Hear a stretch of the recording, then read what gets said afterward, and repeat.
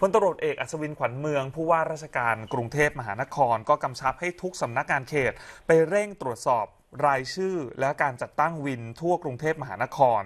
โดยใบขับขี่และบัตรประจำตัวผู้ขับขี่รถจักรยานยนต์รับจ้างจะต้องตรงกัน เพื่อป้องกันการลักลอบสวมสิทธิ์ ถึงแม้ว่าการกำหนดจุดหรือว่าการจัดตั้งวินยังไม่ใช่อำนาจหน้าที่ของสำนักงานเขตเพียงอย่างเดียวก็ตาม แต่ถือเป็นความร่วมมือจากหลายฝ่ายทั้งกรมการขนส่งทางบกตำรวจทหาร แต่จริง ๆ แล้วในกรุงเทพมหานครเนี่ยนะครับยังมีวินอยู่อีกกว่า 5,400 แห่ง เพราะฉะนั้น มันก็อาจจะเกิดความละหลวมที่ไม่สามารถตรวจสอบโดยละเอียดได้ จึงต้องสั่งการให้ทุกสำนักงานเขตไปเข้มงวดมากขึ้น ซึ่งผู้ประกอบการวิน และผู้ขับขี่รถจักรยานยนต์รับจ้างเอง ก็จะต้องคำนึงถึงผู้โดยสารและการให้บริการที่ดีเป็นหลัก ไม่ควรที่จะมาทะเลาะวิวาทกัน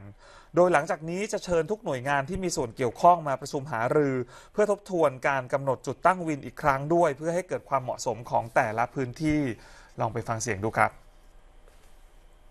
คือขณะนี้เนี่ยในสำนักงานเขตเนี่ยเขารู้อยู่แล้วว่าว่าตรงไหนที่ขออนุญาตแล้วพอขออนุญาตแล้วเนี่ยเขาก็ถ้าถ้านอกคือเขตก็จะรู้แล้วตรงตรงไหนเป็นเป็นคิว เป็นวิน แต่คราวนี้ก็ผมก็ได้สั่งการให้ไปเข้มงวดสมมุติว่าวิน A มีอยู่ 23 คัน ก็ไปตรวจว่าเบอร์หนึ่งถึงเบอร์ 23เนี่ยคนขับขี่ชื่ออะไรยังไงเนี่ยเราต้องตรวจหมดอยู่แล้ว ปกติต่อไปมันอาจจะพวกลักลอบเอามาเปลี่ยนบ้างสมมติว่ามีเบอร์ 20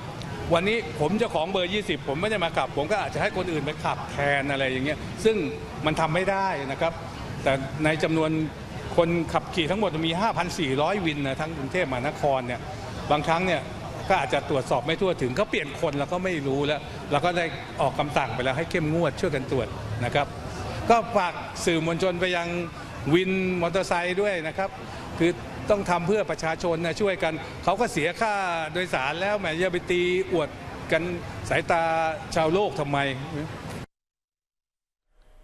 ขณะที่พลเอกประยุทธ์จันโอชานายกรัฐมนตรีก็พูดถึงเรื่องนี้นะครับ บอกว่าเหตุการณ์ที่เกิดขึ้นเป็นเรื่องที่ไม่ถูกต้อง โดยเฉพาะมาเกิดในพื้นที่สาธารณะ ดังนั้นต้องบังคับใช้กฎหมายอย่างจริงจัง และต้องไม่ให้มีเหตุการณ์แบบนี้เกิดขึ้นอีก ต้องดำเนินคดีขั้นเด็ดขาดกับผู้ก่อเหตุ ลองฟังเสียงนายกดูครับ ว่าทำที่ไม่ดีเลยนะแล้วผมได้สั่งย้ำในที่ประชุมไปวันนี้ เพราะว่าหลายคนเขาไปถามกับท่านรองนายก ถามกับหอตรงเอ๊ะจะมีกฎหมายมีอะไรไปกฎหมายมีทุกตัว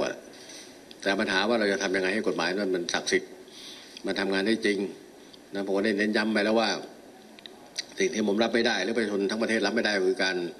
การตีการทำร้ายซึ่งกันและกันในพื้นที่สาธารณะบนถนนทางโรงพยาบาลโรงเรียนต่างๆเหล่านี้ต้องลงโทษโดยเด็ดขาด หาตัวผู้กระทำผิดให้ได้ แล้วเหตุใดเหตุการณ์นั้นจะนั้นถึงเกิดขึ้น มันเกิดจากการปล่อยปละละเลยของใครหรือเปล่า อันนี้ต้องมีการสืบสวนลงโทษทั้งหมดนะหาผู้รับผิดชอบด้วย ถือว่าใช้โอกาสนี้ในการเข้าไปจัดระเบียบวินใช่ครับมอเตอร์ไซค์อีกรอบหนึ่งเลยละกันนะคะ หลังจากที่ก่อนหน้านี้ทางคอสชเนี่ยได้เข้าไปจัดระเบียบเรื่องของความเรียบร้อยไปแล้วรอบหนึ่งแต่ว่าเวลาล่วงเลยผ่านไปทำให้กลุ่มวินบางกลุ่มเนี่ยมีการย้ายจากจุดตำแหน่งที่ตั้งเดิมครับจากที่แจ้งไว้ตอนแรก เพื่อที่จะให้ได้เปรียบในการอืมรับผู้โดยสารก็จะย้ายเข้าไปอีกจุดหนึ่งเพื่อที่จะใกล้ผู้โดยสารมากขึ้นอ๋อครับเรื่องนี้นะคะ ไม่ใช่เพียงแค่หน่วยงานความมั่นคง ทางกรมการขนส่งทางบกกระทรวงคมนาคมเอง ครับ ก็มีการประสานหน่วยงานที่เกี่ยวข้องเข้าไปดูจุดที่ตั้งวินอีกรอบหนึ่งนะคะ ว่าตอนนี้เนี่ยมันมีความละหลวมไหมจนครับทำให้เกิดความขัดแย้งเกิดขึ้น และอาจจะมีอีกหลาย ๆ กลุ่มนะคะ ที่ตอนนี้ยังมีความขัดแย้งอยู่ด้วย เพราะว่าใช่ ทั่วกรุงเทพมหานครเนี่ยอย่างที่คุณธิติวัฒน์บอกไป มีถึง 5,400 แห่งด้วยกันนะคะ